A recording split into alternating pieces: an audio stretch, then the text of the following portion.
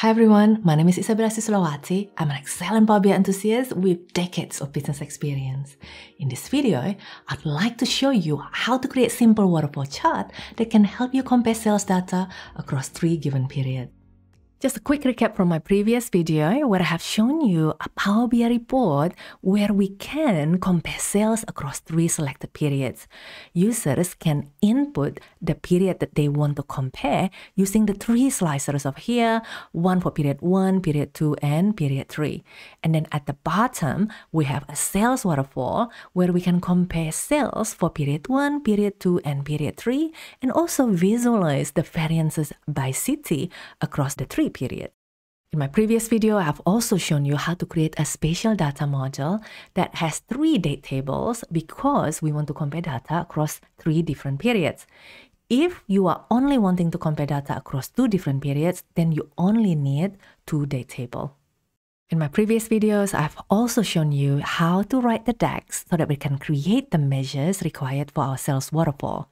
We need three sales measures for P1, P2, and P3, and then we need two sets of variance measures, one set to compare variances from period 2 to period 1, and then another set for period 3 versus period 2, 8 in totals, and 11 after you add the 3 for the pillars.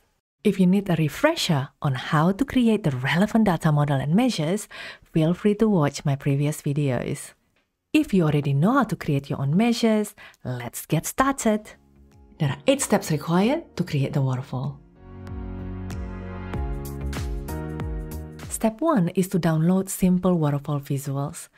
It is not part of your standard visualization, so if you haven't done so, you need to first click these three dots, click get more visuals, and then type in simple waterfall, and then click that, and then wait until it's finished loading to download the information. And then click add, like that. Once the download is completed, click Simple Waterfall Visuals and then type in sales in that data section so that we can see the relevant measures that we need to create our pillar. So I'm going to click all three and notice when I click them, they are automatically added to the value section over here. So sales P1 and P2 and P3 will become our pillar later. Next, let's move on to step three. We're going to find our variance measures. Our variances are by city, so I'm going to type Brisbane, and then I'm going just to click both variance between period 2 and 1 and variance between period 3 and 2. And then we're going to do the same for other cities. In this instance, Melbourne, and then Sydney,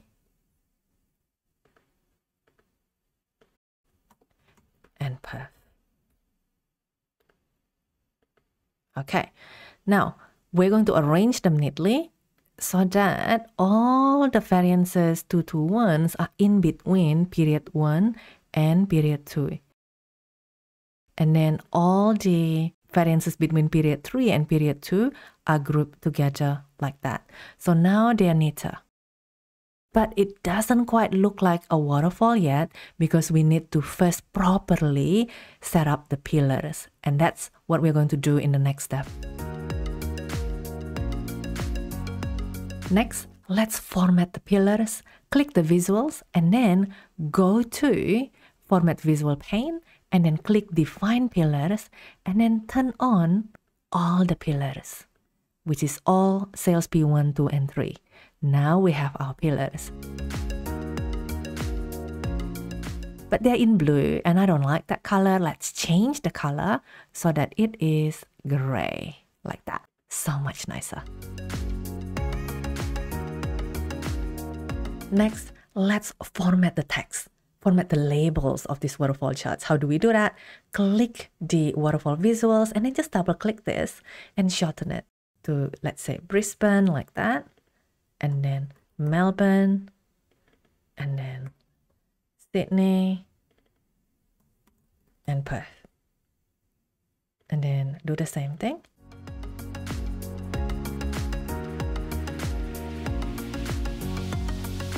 Oh, look at that. what happened? When we use the same name, suddenly the waterfall is all over the place. So we cannot use the same name. To overcome that, just put space like that.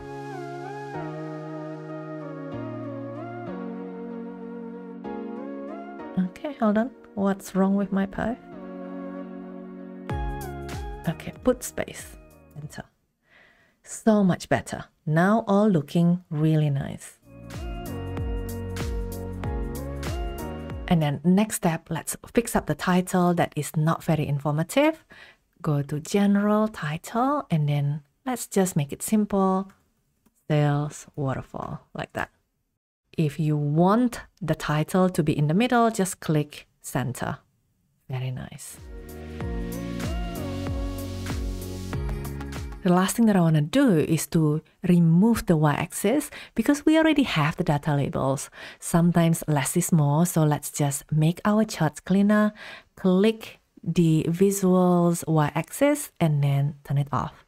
Voila, so much nicer. We have now completed our sales waterfall. Let's test it. Let's select a different period. Oh, look at that the waterfall is changing dynamically. How awesome! I hope you find this video useful. See you next time.